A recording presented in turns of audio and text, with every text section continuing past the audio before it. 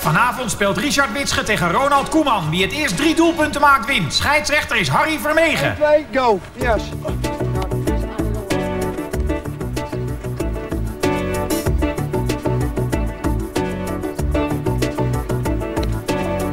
Ja, is 1-0.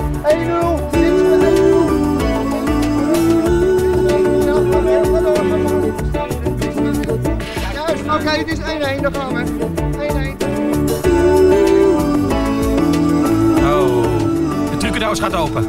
Tweemaal geduld, Ronald. Krijgt de bal tussen zijn benen en heeft er dan genoeg van. Ha, Gooit zijn lichaam erin Ja, en maakt 2-1. 2-1. 2-1. Ja, je moet aankijken. Ja, en je moet de bal langs. Ja, ja. Je moet uit- Witsche probeert het weer. Souplesse tegen lichaamskracht. Jeugd tegen routine. Gaat Ronald Koeman zich laten verslaan door deze aankomende verdette?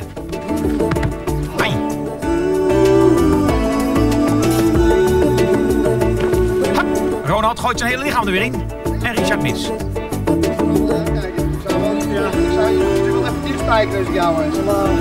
Advies van de scheidsrechter. De stand is 2-1 voor Koeman. Aan één doelpunt heeft hij genoeg om de wedstrijd in zijn voordeel te beslissen. Ronald moet het niet hebben van zijn dribbelvermogen. Zal dus proberen de bal langs Witsche te tikken. Hij dreigt nu naar binnen. Komt nu naar buiten. Gaat buitenom en een verschrikkelijke verdedigingsfout van Richard Witsche. En Ronald Koeman wint tegen alle verwachtingen in deze 1 tegen 1 van Richard Witsche. Nee, gefeliciteerd. Drie, Twee afstandsschoten. Ja. En een, die, la- die laatste was, laatste was oké. Was een beauty? Ik ben bang dat eh, Rob gaat bellen hoor. Ik denk het ook. Dus ja, ik denk dat Rob even hij belt. komt terug van de blessure. Ja, maar dat je, hey, je verliest van een man van 30.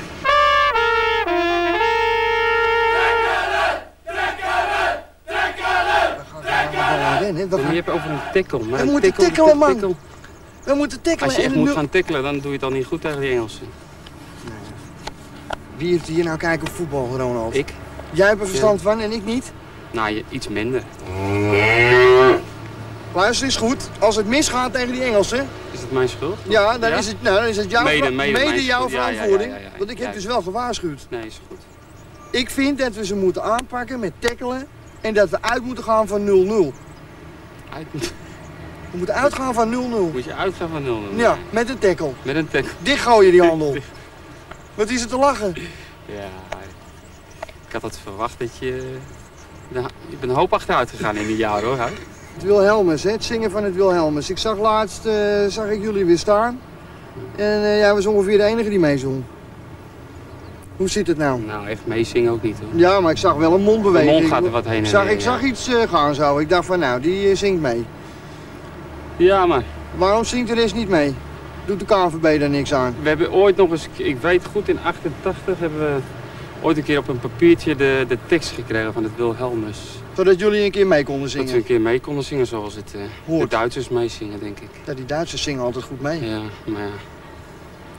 Of het dan ook zo moet, dat is ook een tweede. Maar Maar ken jij de tekst eigenlijk? ik ken niet alles, maar ik ken wel wat, ja. Moment. Kunnen we dat eventjes eh, repeteren? Wil jij even de eerste regels noemen van het Wilhelmus? Niet meekijken? Niet spieken? Het is Zeg het maar. Wilhelmus van, van Nassau. Van Nassau, Van ja. Nassau, Ga door. weet ik niet. Ben ik van Ben ik van Duits en bloed. Duitse bloed, ja. Ja, hoe gaat het dan door? Verder niet. Een prinsen van Oranje ben ik vrij onverveerd. De koning van Hispanje heb ik altijd geëerd. Juist. Leer dat nou uit je hoofd. Neem dit mee. En Ga, voor Engeland ga zal ik hem heel goed en dat je gewoon meezingt op Wembley, want anders krijgen we dat ge- gehark weer. Ja, ja. Die beelden die gaan heel de wereld over. En dan staat daar weer zo'n Nederlands elftal te zwijgen. Ik zal zorgen dat ik eh, Ga je het leren? heel erg, ja. Uit volle borst zing ik mee. 1-2. Wat wordt de uitslag daar? Dat kwam er snel uit. Weet je dat? nagedacht. Ja, weet je dat heel zeker? 1-2? Ja. Zonder enig pardon, dat is het. Geen probleem. Geen probleem. 0-1, 0-2. Vijf minuten voor tijd 1-2. En wie maken de doelpunten? Als je dat ook nog weet. Ja, Overmars Overmars en en, Bergkamp. en Bergkamp. En wie maakt hem bij de Engelsen? Maar dat is niet belangrijk. Dat is niet belangrijk. Jezus, daar is, daar is inderdaad over nagedacht. Romario opgelet. Dit is de specialiteit van het huis van Witsche.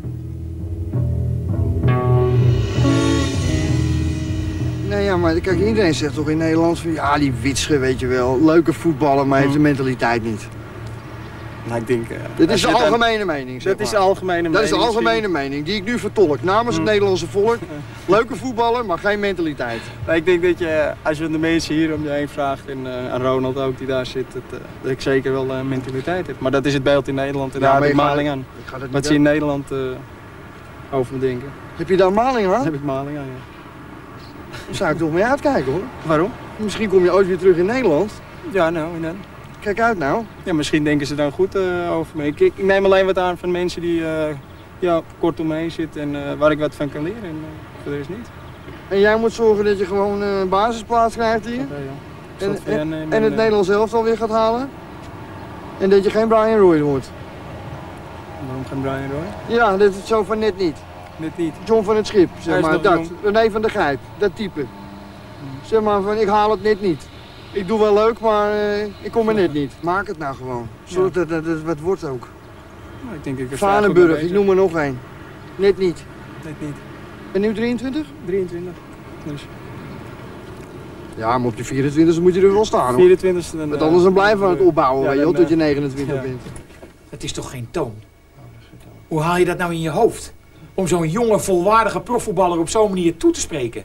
Hij speelt bij een van de drie grootste clubs van Europa. En jij behandelt hem als de eerste de beste pupil. Jongen, daar geen knikken. Raakt geen knikker. Nee, geen Hij zit in de basis. Weet je, als jij zo tegen zo'n jongen gaat praten, dan breng je hem van zijn apropos. Dan, dan lul je hem zo uit vorm. Dan moet je hem mee ophouden. Ja, trouwens, hoe haal je het in je hoofd?